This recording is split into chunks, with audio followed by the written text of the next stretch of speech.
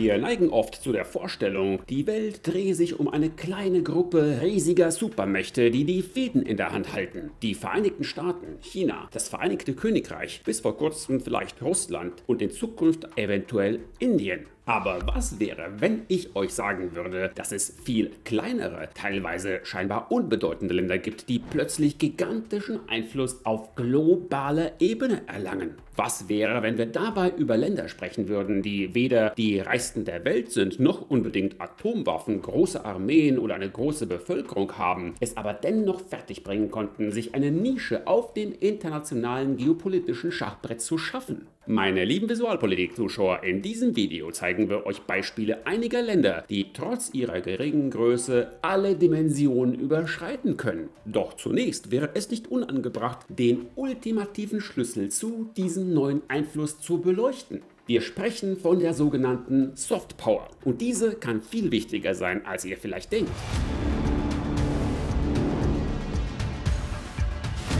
Man könnte sagen, dass diese Art von Strategie oder Macht darin besteht, Menschen auf der ganzen Welt zu beeinflussen und zu überreden, bestimmte Ziele zu verfolgen, ihre Ideen, Gedanken und Überzeugungen subtil zu beeinflussen. Und um dies zu erreichen, werden Elemente wie Kultur, Werte, Innovation, Sport, Diplomatie und sogar Philanthropie eingesetzt. Soft Power ist das Gegenteil von Hard Power, die durch Zwang, die Anwendung von Gewalt oder Drohungen und wirtschaftliche Erpressung ausgeübt wird. Eine Art von Macht, bei der es nicht sonderlich überrascht, dass ausgerechnet die Großmächte bei ihr große Vorteile haben. Mit anderen Worten, während harte Macht von Gewalt abhängt, beruht weiche Macht auf Überzeugungs- und Anziehungskraft.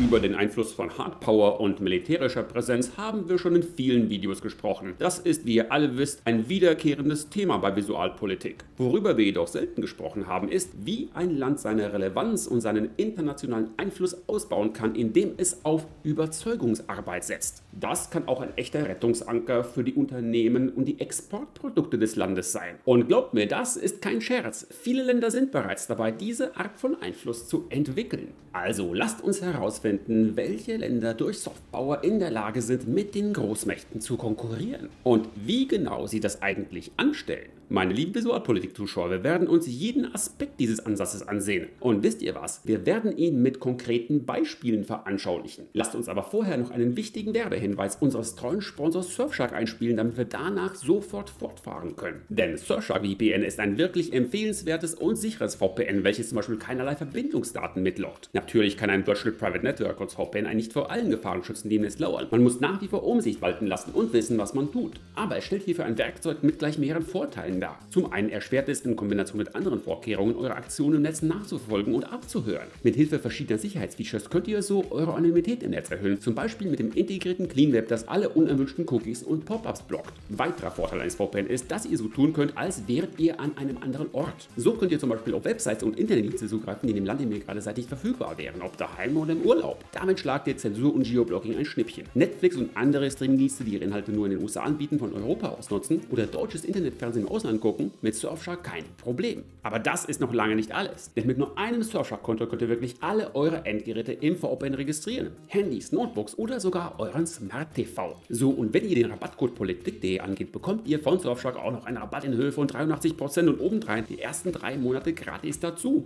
Den Link zu diesem Angebot findet ihr in der Beschreibung unter diesem Video. Also nichts wie los, besorgt euch Surfshark und greift damit gleichzeitig auch uns finanziell unter die Arme. Das könnt ihr übrigens auch direkt mit Hilfe des Spendenlinks, den ich euch ebenfalls in die Beschreibung gepackt habe. Wir sind euch für jede Unterstützung dankbar, denn damit helft ihr uns, euch in Zukunft noch mehr und noch bessere Videos zu liefern. So, und nun lasst uns zu einer Reise aufbrechen. Als erstes sehen wir uns die aufstrebende Kulturmacht Südkorea an. Aufgepasst!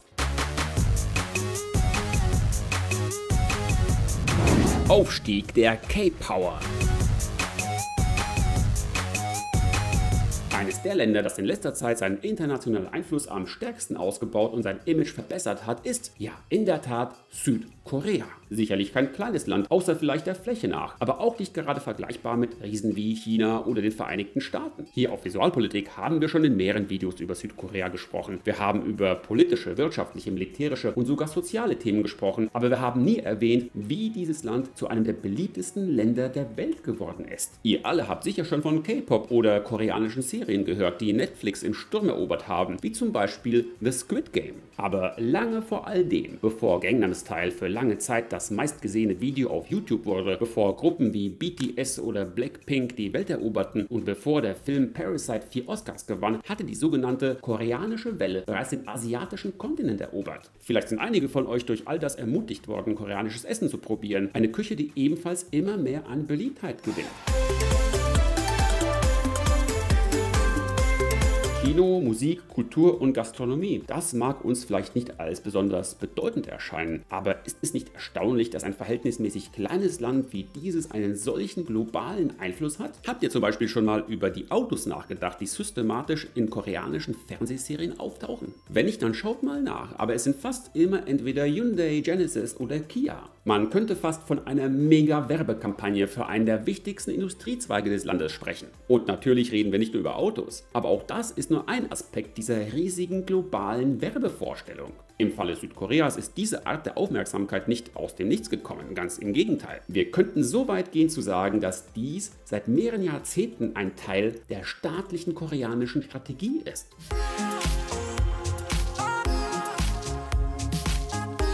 Einige Experten sind der Meinung, dass die Unterstützung durch die Regierung der Schlüssel zum sogenannten Hallyu war, der koreanischen Welle kultureller Inhalte, die in den 1990er Jahren aufkam. So kündigte der damalige Präsident Kim Dae-jung 1998 den ersten Plan zur Unterstützung der Hallyu-Industrie an. Ziel war es, die Kulturindustrie anzukurbeln und sie zu einem großen Aushängeschild für das ganze Land zu machen. Und ich garantiere euch, das war nicht nur heiße Luft. In nur drei Jahren verdreifachte sich das öffentliche Budget für die Kulturindustrie. Der Erfolg war so durchschlagend, dass die nächste Regierung, die von Roh Moo-yang, die Investitionen in die Kulturindustrie weiter erhöhte. Es wurden sogar mehrere Gesetze erlassen und Regierungsstellen eingerichtet, die ausschließlich der Förderung dieser kulturellen Inhalte innerhalb und außerhalb des Landes dienten.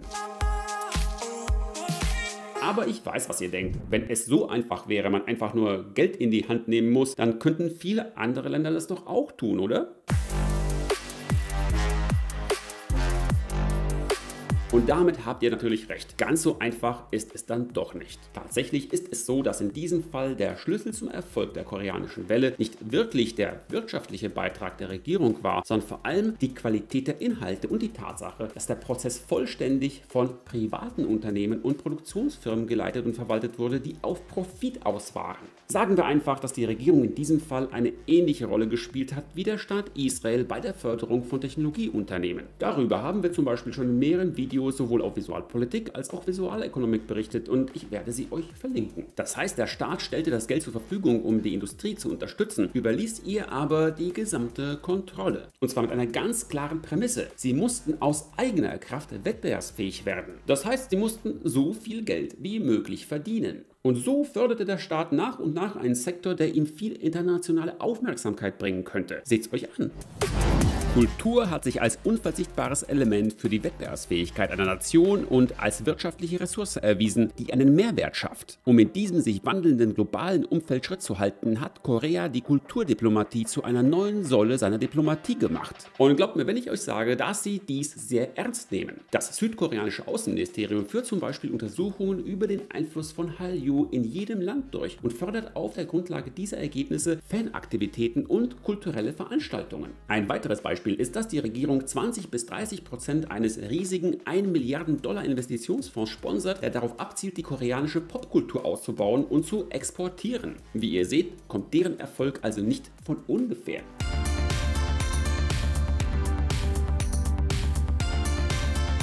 Und die Frage lautet, wozu eigentlich? Nun, eines der Ziele dieses starken Engagements war es, das internationale Image Südkoreas zu verbessern. Ein Land, das seit seiner Gründung im Jahr 1948 einen verheerenden Krieg und bis in die 90er Jahre eine Reihe von Militärdiktaturen erlebt hat. Diktaturen, unter denen es natürlich ständig zu Menschenrechtsverletzungen kam und daher eher zum negativen Image des Landes im Ausland beitrugen. Lange Zeit galt Südkorea als eine Art Megafabrik, die von Satrapen und riesigen Familienkonzernen geführt und durch korrupte bestimmte Politiker gestützt wurden. Wie ihr euch vorstellen könnt, war das nicht gerade die beste Visitenkarte. Und als die Demokratie in dem Land, das als das Land der Morgenstille bekannt ist, Einzug hielt, mussten sich die Politiker nicht nur an die Arbeit machen, um die Institutionen zu säubern. Nein, sie mussten auch hart daran arbeiten, das Image des Landes im In- und Ausland zu verbessern. Und da habt ihr es. Der Bedarf war da, der Wille auch, also haben sie die Ärmel hochgekrempelt. Und wisst ihr was? Es gibt ein paar Fakten, die uns helfen können, den enormen Erfolg, den sie hatten, wirklich zu verstehen. Nach Angaben der Welttourismusorganisation ist die Zahl der Touristen in Südkorea zwischen 1995 und 2019, den letzten Daten vor der Pandemie, um 367 Prozent gestiegen, von etwa 3,75 Millionen auf fast 18 Millionen. Der Tourismus entwickelte sich also zu einer riesigen und völlig neuen Einnahmequelle.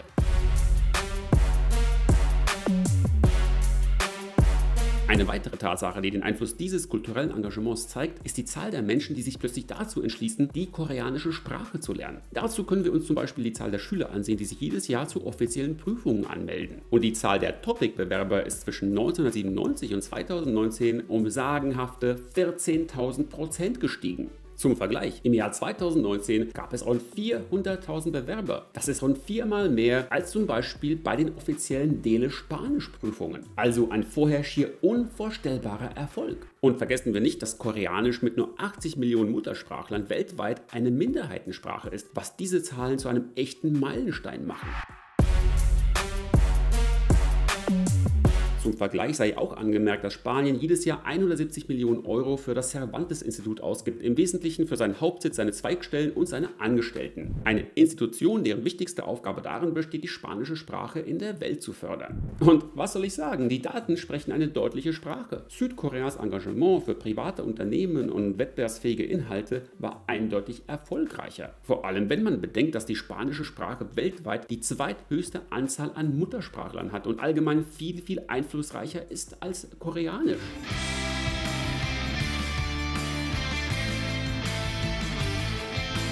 Tatsache ist, dass all diese Auswirkungen natürlich eine riesige zusätzliche Einnahmequelle für die südkoreanische Wirtschaft darstellen. Und das ist noch nicht alles. Es ist auch eine Möglichkeit, das politische Image Südkoreas in der Welt zu fördern, was neben der Steigerung des Handels, des diplomatischen und politischen Austauschs besonders wichtig sein könnte, wenn es zum Beispiel zu einem Konflikt mit Nordkorea kommt. Denn es ist klar, dass Dinge, die wir kennen und schätzen, für uns viel wichtiger sind. Es handelt sich um eine Strategie, die Länder wie Israel ebenfalls verfolgen. Ist euch zum Beispiel aufgefallen, dass es immer mehr israelische Inhalte auf Streaming-Plattformen gibt? Es lohnt sich durchaus, das zur Kenntnis zu nehmen. Es hat mehr Auswirkungen, als ihr vielleicht denkt. Seht euch zum Beispiel diese Nachricht an.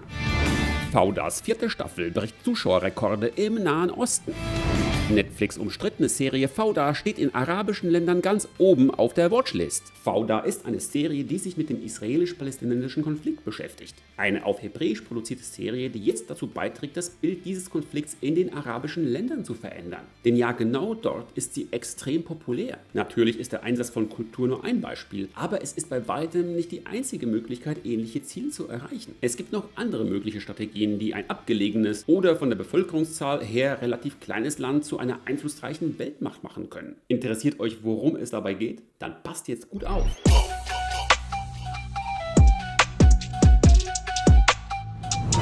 Die Macht des Scheckbuchs.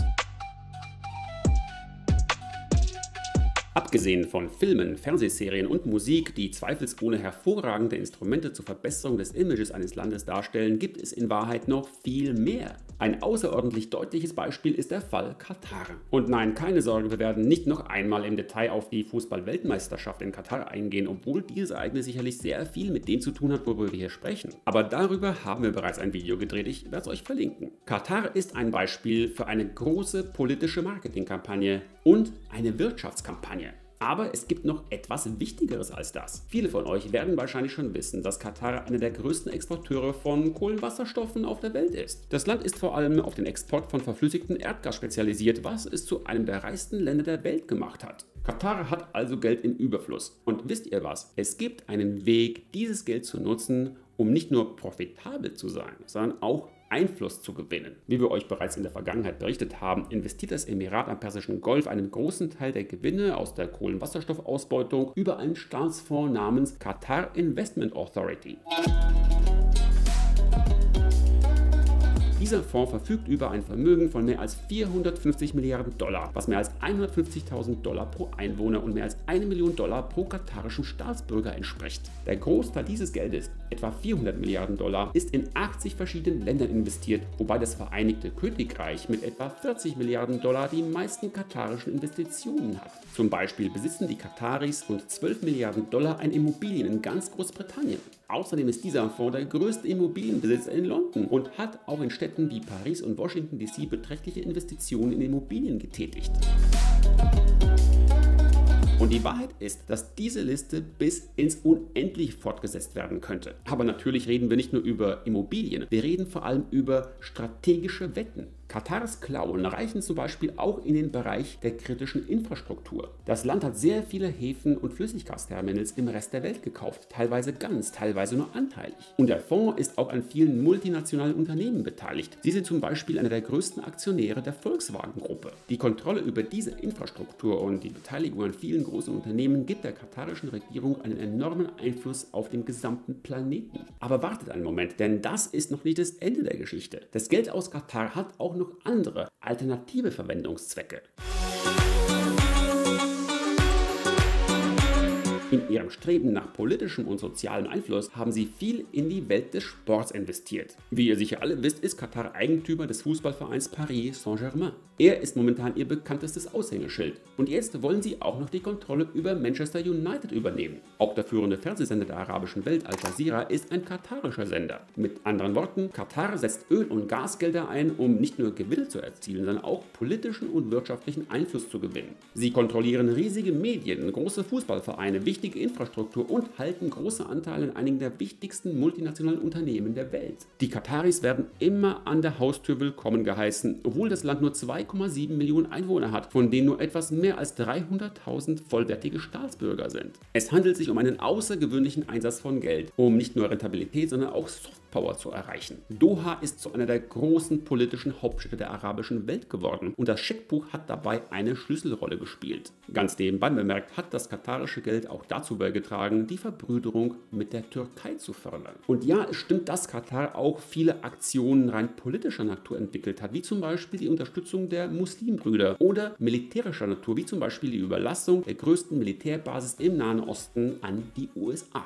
Aber die Wahrheit ist, dass das Scheckbuch die zentrale Rolle dabei gespielt hat, Doha viel wichtiger und einflussreicher zu machen als zum Beispiel Kuwait, ein potenziell noch reicheres Land. Sagen wir einfach, dass es ein weiterer Schlüssel zur Softpower ist, die vorhandenen Ressourcen zu nutzen, um Einfluss zu gewinnen. Es mag euch offensichtlich erscheinen, aber tatsächlich ist es gar nicht so üblich, wie man meinen könnte. Doch bevor wir dieses Video beenden, können wir nicht übersehen, dass es neben dem Einsatz von Kultur und Geld noch einen dritten Weg gibt, der relativ kleinen Ländern zur Verfügung steht, um zu politischen Großmächten zu werden. Ahnt ihr schon, worauf ich hinaus will? Nun passt jetzt gut auf.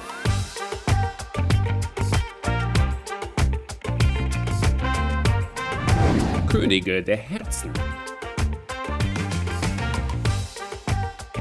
Eine weitere Möglichkeit, mit den mächtigsten Mächten der Welt zu konkurrieren, besteht darin, sich für gerechte Anliegen und politische Projekte stark zu machen. Um euch das zu erklären, wollen wir uns zwei sehr unterschiedliche Beispiele ansehen. Kanada und Kuba. Wir sprechen über zwei Länder, die in völlig unterschiedlichen geopolitischen Bereichen spielen, denen es aber beiden gelungen ist, ihre Stärken auszunutzen, um regionale und sogar internationale Bedeutung zu erlangen. Nun stellt sich die Frage, wie haben sie das geschafft? Nun, Kanada zum Beispiel hat es geschafft, ein Vorreiter für Bürgerrechte und Umweltschutz zu werden. Kanada ist zum Beispiel eines der Länder, die die UN-Erklärung über die Rechte indigener Völker am ernstesten genommen haben. Und ja, ich weiß, was ihr denkt. Das klingt alles schön und gut, aber kann man damit wirklich internationalen Einfluss gewinnen? Nun, die Wahrheit ist, ja, es kann sich um eines der wichtigsten Instrumente handeln, um Einfluss zu gewinnen und Kanada ist ein gutes Beispiel dafür.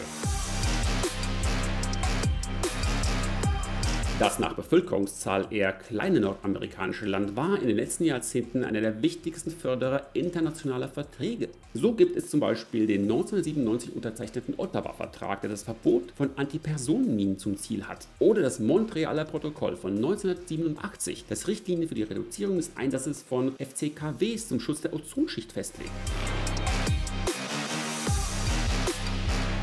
Und viele von euch mögen all diese Dinge für irrelevant halten, aber die Wahrheit ist, dass sie alle dazu beitragen, die Marke eines Landes aufzubauen und seinen internationalen Einfluss zu erhöhen. Seht es doch mal so, jeder möchte dem beliebtesten Schüler in der Klasse nahe sein. Und das ist etwas, das Regierungen, Unternehmen, Investitionen, Produkte und Fachkräfte betrifft. Es ist gewissermaßen die Marketingkampagne des Lebens, die auf Länder angewandt wird. Aber was ist mit Kuba? Warum haben wir ein so verarmtes Land in dieses Video aufgenommen, wo es doch eine kommunistische Diktatur ist?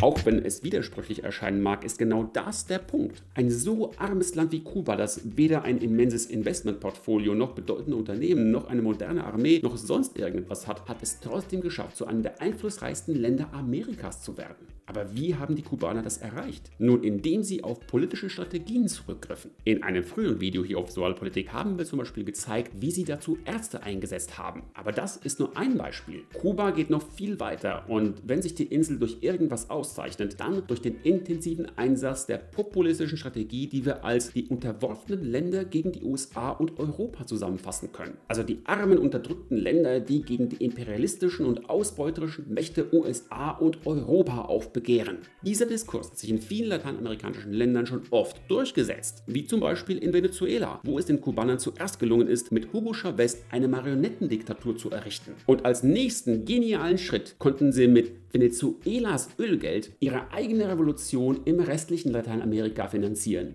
Tja, das Konzept scheint wirklich brillant zu sein. Sicherlich moralisch verwerflich, aber brillant. Überall auf dem Kontinent hat Kuba politische Parteien, soziale Interessengruppen und sogar institutionelle Foren wie das bekannte Forum von Sao Paulo gefördert. Räume, aus denen Politiker wie Rafael Correa, Evo Morales, Daniel Ortega und Manuel Zelaya hervorgegangen sind. Die Idee, auf der der kubanische Einfluss in Lateinamerika beruhte, war ganz pragmatisch. Das Castro-Regime erkannte, dass die Linke in Lateinamerika keinen Erfolg haben würde, wenn sie nicht zumindest in der öffentlichen Wahrnehmung die alten Dogmen ablegte. Dogmen wie die Abschaffung des Privateigentums oder die Errichtung proletarischer Diktaturen. Aber abgesehen von der rein ideologischen Frage, welches Interesse könnte Kuba daran haben, seine Revolution zu exportieren? Nun, für viele Analysten besteht das Hauptziel darin, die Existenz des kubanischen Regimes zu sichern. Mit dem Untergang der Sowjetunion Anfang der 90er Jahre und der daraus resultierenden schweren wirtschaftlichen und sozialen Krise in dem karibischen Land erkannten die Castros, dass sie ein internationales Unterstützungsnetzwerk brauchten. Alleine gegen die Vereinigten Staaten zu stehen, versprach nur wenig Erfolg. Dieses Netzwerk von Unterstützern musste in Lateinamerika entstehen in Ländern, die nahe beieinander liegen, dieselbe Sprache sprechen und mehr oder weniger dieselbe Kultur teilen. Und wisst ihr was? Es hat sich wirklich gelohnt. Und Nachrichten wie diese sind der Beweis dafür, wie ein kleines, rückständiges und verarmtes Land enormen internationalen Einfluss erlangen kann. 50% des von Venezuela produzierten Benzins wird nach Kuba geliefert, sagt ein Gewerkschaftsführer aus diesem Land. Nur 10% des produzierten Benzins erreicht die Bevölkerung. Wie ihr seht, gibt es viele Möglichkeiten, globalen Einfluss zu erlangen, auch wenn man ein relativ kleines Land auf der internationalen Bühne ist. Von Südkoreas kulturellen Inhalten bis zu Kubas revolutionärer Politik, von Katars makroökonomischen Investitionen bis zu Kanadas Philanthropie. Klar ist, dass praktisch jedes Land zu einer geopolitischen Macht werden kann, wenn es nur ein wenig Kreativität und gut vermarktbare globale Visionen entwickelt. Und keine Frage, alle Länder, die wir in diesem Video gesehen haben, haben mit dieser Art von Strategie große Erfolge erzielt. Es handelt sich also um keine triviale oder vernachlässigbare Angelegenheit. Aber an diesem Punkt angelangt seid erstmal ihr an der Reihe. Glaubt ihr, dass euer Land dem Beispiel eines dieser Länder folgen könnte, um mehr internationale Präsenz zu zeigen? Glaubt ihr, dass diese Art von Anziehungskraft auf Dauer anhalten kann? Oder betrachtet ihr Softpower eher als flüchtig und unzuverlässig? Wie immer sind wir auf eure Diskussion zu diesem Thema schon mächtig gespannt. Ich hoffe, dass euch dieses Video gefallen hat und ihr vielleicht etwas dabei gelernt habt. Falls ja, gebt uns bitte ein Like, teilt es mit euren Freunden und diskutiert es mit ihnen. Vergesst bitte auch nicht, unseren Kanal zu abonnieren. Unbedingt mit Glöckchen, um keines unserer zukünftigen Videos mehr zu verpassen. Natürlich freuen wir uns auch jederzeit über eine Spende von euch, mit uns dieses Projekt weiterzuführen. Den Link dazu findet ihr in der Beschreibung unter dem Video. Macht's gut und bis bald.